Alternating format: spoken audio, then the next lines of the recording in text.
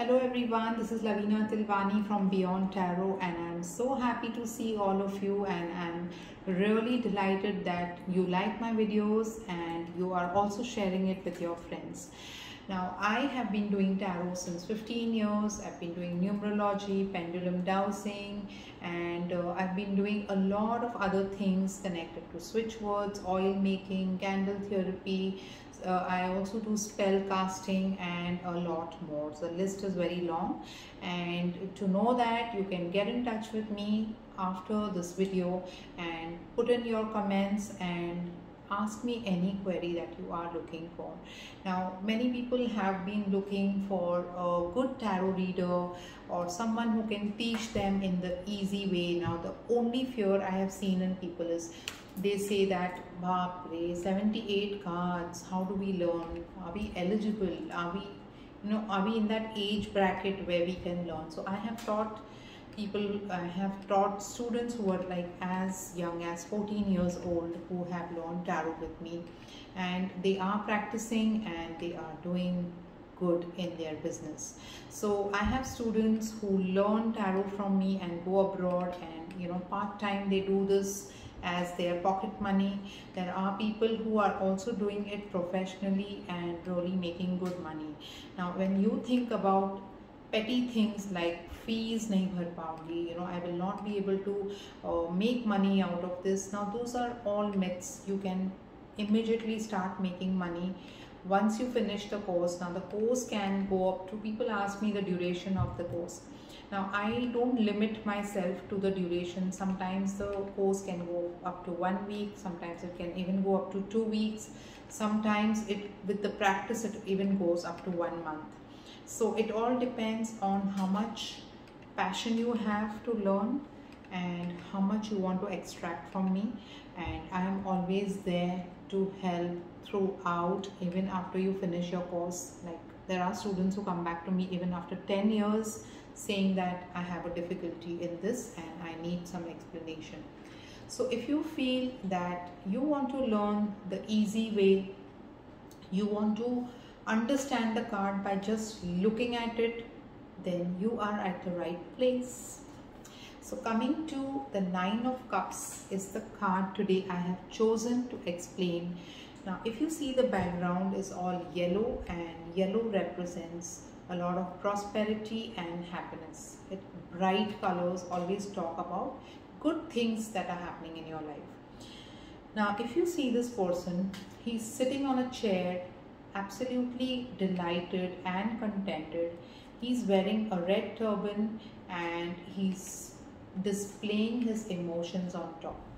When do you display your emotions? When do you display the certificates that you have got? Because when you have achieved something people have praised you. You want to show the whole world that i am so and so i have won this award and you know you want to be recognized. You want to show the world what you have achieved. Now in this card this person is looking so happy and contented. He's a happy-go-lucky person he loves to enjoy life his life to the fullest he wants to show the people that how much happiness he has achieved and how much happiness he can share with you. So in terms of relationship, this person is going to be very loving, caring and someone who's going to be concerned about your problems, about your likes and dislikes. In this, this person is very emotional and is concerned about little, little things about you. Like did you eat? Did you sleep? Did you go out? Did you do this? So this person is very considerate and always wants to know what you are up to. Now in this card uh, this person loves to enjoy the life his life to the fullest. Go out go meet friends eat food eat drink and be merry is what i can see from this card. So also if you see this card is very self-explanatory. You don't need much explanation on this.